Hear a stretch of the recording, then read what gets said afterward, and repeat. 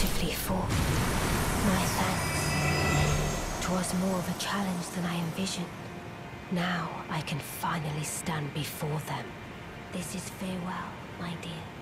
Tell Bly and Eiji I love them.